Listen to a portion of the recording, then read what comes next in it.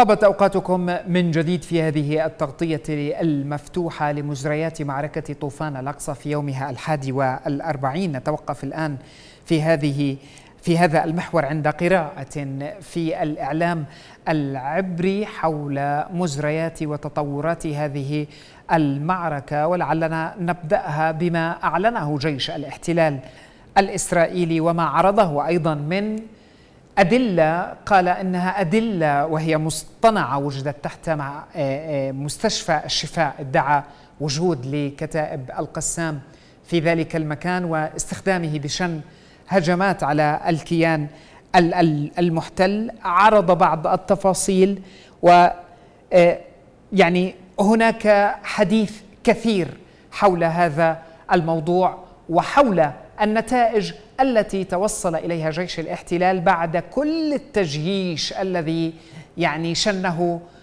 حول مستشفى الشفاء خلال الأيام الماضية. للحديث حول هذا الموضوع اسمحوا لي أن أرحب بضيفي الذي ينضم إلينا عبر سكايب من نابلس شمالي الضفة الغربية الخبير في الشأن الإسرائيلي الأستاذ عزام أبو العدس أستاذ عزام مساء الخير أهلا وسهلا يسعد مساءكم ومساء المشاهدين جميعا. حياكم الله. دعنا نبدأ كيف تابع فعلا الإعلام العبري والرأي العام في الكيان المحتل. تلك الرواية التي خرج علينا بها جيش الاحتلال الإسرائيلي عبر يعني أدلة مصطنعة تتعلق بوجود القسام في مستشفى الشفاء واستخدامه انطلاقا لعمليات ضد الكيان. تفضل. بسم الله الرحمن الرحيم. آه، يعني اولا عندما آه، ليفهم المشاهد العربي طبيعة الحديث الذي الذي الذي سنتحدث به الآن. نعم. آه، يجب أن نضع حقيقة وهي أنه منذ السابع من أكتوبر والإعلام العبري والمجتمع الإسرائيلي يعيش داخل خزنة فولاذية تسمى الرقابة العسكرية الإسرائيلية. وبالتالي هناك حالة من التكتيم الشديد والتحكم بالإعلام والتأليه حقيقة لرواية الحكومة. آه، طبعا لا يوجد شخص عاقل. يعني يتخيل أن يوجد هناك شخص أو أشخاص يمكن أن يصدقوا ما عرض على التلفاز بأنه حقيقة. لكن الجمهور الإسرائيلي في حالة صدمة منذ السابع من أكتوبر ومستعد ليصدق أي شيء حرفيا. صحيح. الإعلام العبري طبعا آه، يعيش في حالة من آه، الرقابة الكاملة والرقابة الذاتية الكاملة. الرقابة العسكرية الإسرائيلية تفرض رقابة صارمة يعني لا يمكن تخيلها وتخيل مدى صرامتها على كل يصدر.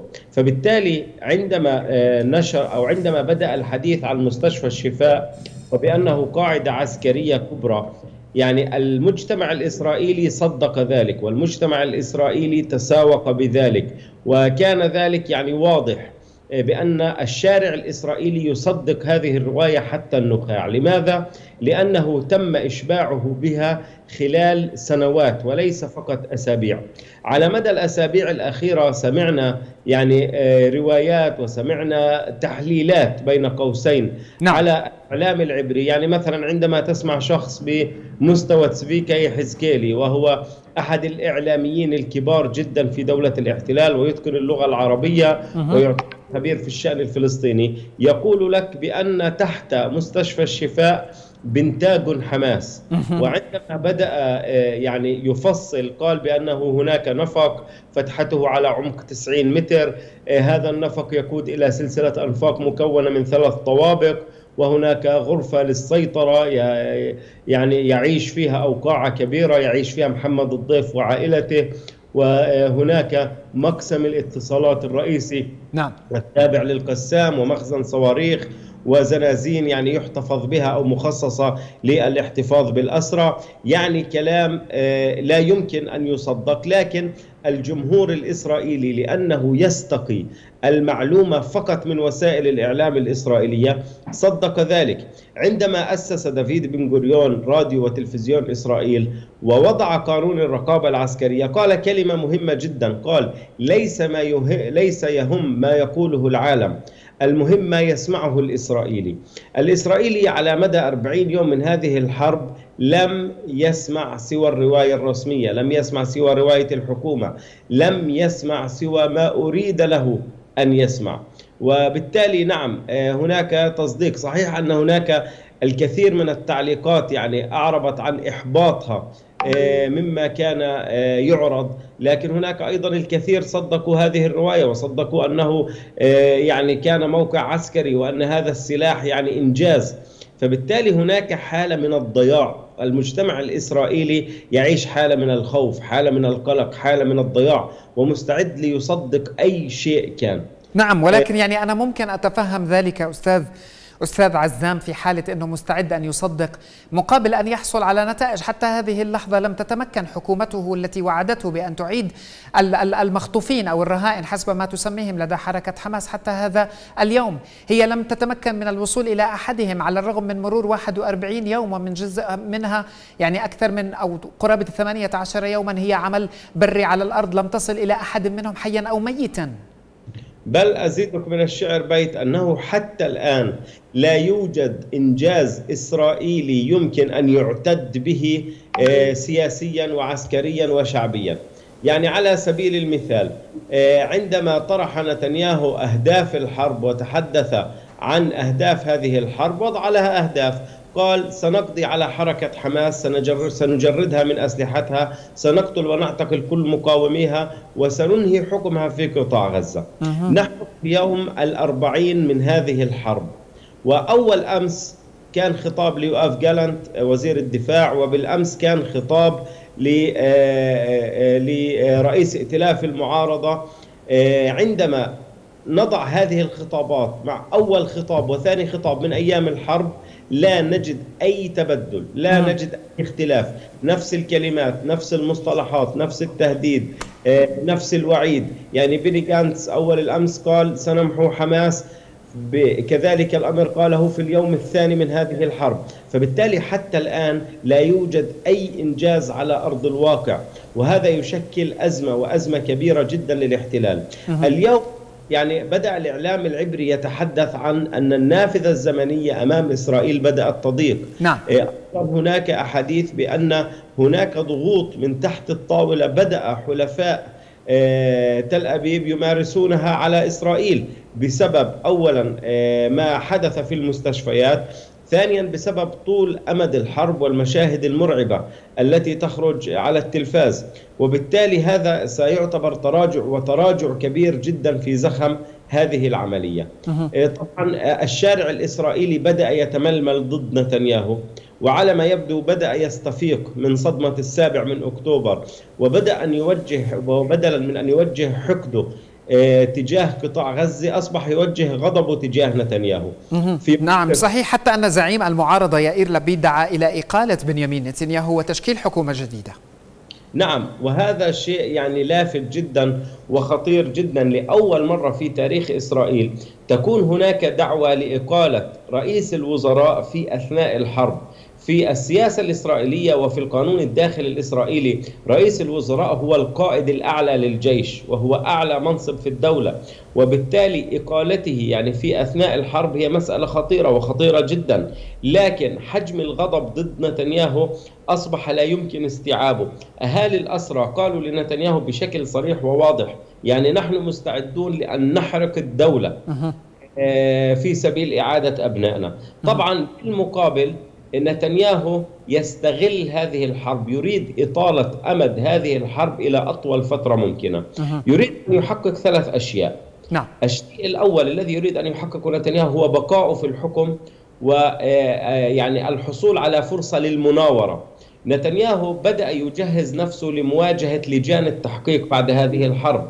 يعني بدأ بحسب تقارير إسرائيلية بجمع مواد استخباراتية تدين الجيش تدين الشباك تدين الأمن. آه، بدأ بتعزيز موقفه أمام الجهات السيادية التي آه، تتحمل مسؤولية السابع من أكتوبر. حتى الآن رفض نتنياهو الاعتراف الصريح بمسؤوليته. يعني على سبيل المثال خرج قائد أمان شعبة الاستخبارات العسكرية الإسرائيلية وقال أنا أتحمل مسؤوليتي وسأستقيل. نعم. رئيس الشباك بارليف وقف وقال هذا فشل كبير للشباك الذي يفترض أن أنه كان لديه معلومات دقيقة عن هذا الهجوم وأنا أتحمل مسؤوليتي وبعد هذه الحرب سأستقيل. كذلك قائد هيئة الأركان. أما نتنياهو فرفض حتى الآن أن يعترف بمسؤوليته الشخصية. قال كلمة واحدة قال كلنا مسؤولون ولم يقل أنا مسؤول. فبالتالي نتنياهو يربح من إطالة أمد هذه الحرب القدرة على المناورة. ثانيا نتنياهو يريد أن يحصل على صورة انتصار مهما كان الثمن ليحسن موقفه ويخرج من هذه الحرب باستطلاعات رأي أفضل من الموجودة حاليا. استطلاعات الرأي الموجود حاليا يعني تشير إلى أن نتنياهو 18 مقعد وهذه أكبر نكسة في تاريخ حزب الليكود. بينما بيني جانتس رئيس ائتلاف المعارضة أو الرجل الثاني في نائب رئيس ائتلاف المعارضة يعني حصل حزبه على أكثر من 34 مقعد وهذا تقدم تاريخي. فبالتالي يعني نتنياهو يريد صورة انتصار يقدمها للشعب الإسرائيلي مهما كان الثمن والثمن هنا هو دماء الفلسطينيين. الأمر الثالث الأمر الثالث نتنياهو يريد أن ينتقم من غزة انتقام شخصي. نتنياهو قبل هذه الحرب إذا أحضرنا صورتين لنتنياهو صورة يوم كان في الأمم المتحدة وأمسك خارطة عليها الشرق الأوسط وشطب الوجود الفلسطيني. وضعنا هذه الصورة وصورة حديثة له ربما باليوم أو بالأمس نرى حجم الذل والمهانة والانكسار. فبالتالي نتنياهو يعتبر بأن غزة قضت على مستقبله السياسي وجهت له ضربة قاسمة وهو في أوج عظمته. نتنياهو يعني عندما وقف تلك الوقفة في الأمم المتحدة لم يكن ينظر لنفسه على أنه ملك بني إسرائيل بل كان ينظر لنفسه على أنه سيد الشرق الأوسط. الحكومات العربية الإمارات السعودية كلها تهرول للتطبيع معه خطة سكة الحديد الخطط الاستراتيجية بالنسبة لغاز البحر الأبيض المتوسط. يعني كان المستقبل يفتح ذراعيه على مصرعيهما لنتنياهو. لكن حدث في السابع من أكتوبر أنه عندما ديست رؤوس جنود نتنياهو تحت أحذية المقاومة الثقال ديس رأس نتنياهو قبل رأس الجنود قبل رؤوس الجنود. وبالتالي يريد أن يثأر ثأر شخصي من غزة وهذا ما يقوم به الآن. تمام. ولكن في, في ظل هذا الوضع المأزوم الذي وصفته لنا والذي يعيشه ليس فقط بنيامين نتنياهو بل جميع قادة ال ال الاحتلال كيف أن أفهم التصريحات الآتية من تل أبيب عندما نقلت صحيفة الفاينانشال تايمز البريطانية عن رئيس الكيان إسحاق هرتسوغ قوله إن إسرائيل لن تترك أي فراغ في غزة وما قاله أيضا بنيامين نتنياهو لشبكة سي إن إن الأمريكية قال قال ندعو لصياغة مختلفة للسلطة المدنية في غزة للمرحلة ما بعد الحرب للتأكد بأن تلك السلطة التي ستتسلم زمام الأمور ستعلم الأطفال التعاون معنا. كيف أقرأ ذلك وفي أي سياق اذا يعني اولا يكثر في دولة الاحتلال الآن الحديث عن المابعديات والحديث عن ما بعد حماس فإذا أردنا أن ننظر إلى الواقع يعني إسرائيل تريد أن تطبق المثل الروسي الذي يقول لا تبيع فرو الدب قبل صيده نعم. وإسرائيل تريد أن تبيع فرو الأسود في قطاع غزة قبل صيدهم فبالتالي الحديث عن مرحلة المابعديات وحتى الآن تل أبيب لا زالت تقصف عسقلان تقصف صحيح. لم تتقدم سوى بالكاد ثلاثة كيلومترات في داخل قطاع غزة دون سيطرة فعلية إنما هي سيطرة بالآليات أو توغل في الآليات. يعني هذه هذا ضرب من العبث. يعني حتى الآن إسرائيل لم تحتل مدينة غزة في أربعين يوم التي هي ثلث قطاع غزة أو ربع قطاع غزة. فبالتالي بقي ثلاثة أرباع. فهل ستستطيع, ستستطيع إسرائيل أن تصمد في هذه الحرب. هذه مسألة. المسألة الأخرى الحديث في مرحلة ما بعد حماس يأتي في عدة سياقات. السياق الأول هو توجيه ضربة معنوية للمقاومة بمعنى أن مسألة القضاء عليكم أصبحت محسومة. نعم. فبالتالي مسألة أننا نريد التخلص منكم آه، أننا آه، جهزنا الأرضية فعليا للخلاص وبالتالي من الأفضل أن تأتوا لحل وسط من الأفضل أن أن تطلقوا الرهائن. يعني هذا يأتي في إطار الحرب النفسية. أيضا في إطار إعطاء انطباع لجمهورهم بأن الحرب قد انتهت. وأيضا إعطاء انطباع للجمهور العالمي الذي يتظاهر الآن لأحرار العالم. الذين يتظاهر يتظاهرون ويملؤون شوارع العواصم الكبرى لأجل فلسطين إعطاهم انطباع أيضا أن المعركة انتهت. في حين أن المعركة أبعد ما تكون عن النهاية يعني نحن أمام 40 يوم وإسرائيل لم تقدم أي هدف واضح يمكن أن يعتد به. بالإضافة إلى أنه يعني عن إذا كان الأمريكان يتحدثون ويقولون إسرائيل ليس لها تصور واضح لما بعد الحرب. ما هي التصورات التي تطرحها إسرائيل؟ نعم. هل يمكن أن تعود السلطة الفلسطينية إلى حكم قطاع غزة؟ هذا مستحيل لأن السلطة غير قادرة على السيطرة على الضفة الغربية. هي فاقدة للسيطرة أصلا في الضفة الغربية. نعم. هل ستكون هناك قوات عربية؟ ولا دولة عربية وافقت على ذلك. هل ستكون قوات أممية؟ لن يكون ذلك. هل ستستطيع إسرائيل أن تتحمل أعباء حكم قطاع غزة؟ طبعا هذا على فرض أن إسرائيل نجحت في القضاء على ما يقارب من مئة ألف مقاوم ودمرت كل البنى التحتية لكل الفصائل ودخلت قطاع غزة بيت بيت وقامت بتفتيشه. وهذا سيناريو عصي على التحقيق على أرض يعني الواقع فعلا. يعني المحللين العسكريين اليهود والسياسيين أنفسهم الإسرائيليين يقولون بأن ذلك حتى الآن مستحيل.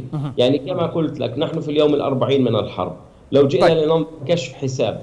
ما الذي قدمه الجيش الإسرائيلي حتى الآن؟ طيب دعني أختم معك في نقطة مهمة جدا. أنت أتيت على ذكر الرهائن. هل من شيء رشح عن صفقة التبادل التي ألمحت إليها واشنطن بوساطة قطرية فيما يتعلق بالإفراج عن عدد يقدر ب 50 إلى 75 لربما رهينة مقابل هدى يتوقف من خلالها القتال هل من شيء رشح عن ذلك؟ يعني كان هناك آه ثلاث أو أربعة نقاط رئيسية تقوم المقاومة بالإفراج عن خمسين من الرهائن المستوطنين وليس الجنود الذين يسمون بين قوسين مدنيين. نعم. آه بالمقابل بالمقابل يقوم الاحتلال بالإفراج عن الأسيرات والأسرى الفلسطينيين القصر الذين الأطفال الذين اعتقلهم الاحتلال. عدد هؤلاء 75 أسيرة و150 آه، طفل أو ربما أكثر قليلا. الإفراج يكون على دفعات من آه، خلال ثلاث إلى ستة أيام من وقف إطلاق النار. في كل يوم آه، تفرج المقاومة عن دفعة من عشر أشخاص تقريبا وتفرج دولة الاحتلال عن دفعة مقابلة بحيث في اليوم الأخير يكون هناك يعني الدفعة الأخيرة من الطرفين بحسب العدد. آه، أيضا خلال هذه الأيام الست يكون إدخال كافة المواد التموينية والإغاثية إلى قطاع غزة. نعم. لكن إسرائيل تتعنت بهذه الصفقة بشكل كبير جدا. آه، إسرائيل تعلم أنه في اليوم الأول من وقف إطلاق النار فإن هذه العملية الهشة سوف تنهار. وبالتالي نتنياهو تحديدا يتعنت بالشروط بشكل كبير جدا آه، حتى يكسب وقتا أكثر في هذه العملية. لأن إسرائيل تعلم أنه في اليوم الأول من وقف إطلاق النار يعني تنفيس 40 يوم من الضغط. 40 يوم من صحيح. الضغط له المدنيين في قطاع غزة. في يوم واحد كل ذلك سوف ينتهي. فهي ستعود إلى المربع الأول. نعم. أيضا هذه الأيام الستة ستعيد للمقاومة إمكانية ترتيب أوراقها تدعيم مواقعها على الأرض وبالتالي أن تعود إلى المعركة بنفس جديد. ستعطي الفلسطينيين دفعة أمل ودفعة معنوية عندما يروا صفقة التبادل بأن المقاومة قد حققت النصر الثاني بعد السابع من أكتوبر. أيضا سيزداد الضغط على نتنياهو داخليا من أهالي الجنود بقية الجنود الأسرى نعم. الذين يفرج عنهم آه، الآن هناك خبر اليوم تداوله الإعلام العبري بأن السيد يحيى السنوار أبو إبراهيم قائد أو رئيس المكتب السياسي لحركة حماس نعم. يعني قد أوقف التفاوض حتى إشعار آخر احتجاجا على ما حدث في مستشفى الشفاء. يعني هذا الخبر آه، لم تؤكده المقاومة أو تنفيه حتى الآن لكن يعني من باب الأمانة الصحفية نعم. نقول إنه ذكر في الإعلام العلمي. أشكرك جزيل الشكر الخبير في الشأن الإسرائيلي الأستاذ عزام أبو العدس. كنت معي مباشرة من نابلس عبر سكايب. إذا إلى هنا مشاهدينا نأتي على ختام هذه التغطية المفتوحة التي أفردناها لآخر تطورات مجريات معركة طوفان الأقصى في يومها الحادي والأربعين. أترككم بحفظ الله ورعايته. سلام الله عليكم.